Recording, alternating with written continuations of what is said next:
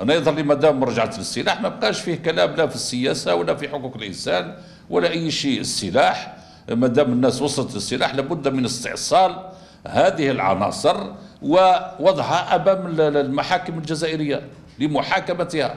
وكذلك يجب الحكم بالتبع لازم تتصنف ما دام حمل السلاح تتصنف في خانة الإرهاب راك في دولة تهز السلاح ضد الدولة. وش كيفاش نسميك أنا؟ وعلاش اللي الاخرين راحوا مسمينهم ارهابيه لانهم هزوا سلاح ضد الدولة. انت اليوم تجي توجد تشري السلاح وتدخر في السلاح وتعطي أوامر بالبداية في تنفيذ العمليات ما بقى لك ولا حجة تكتب بها.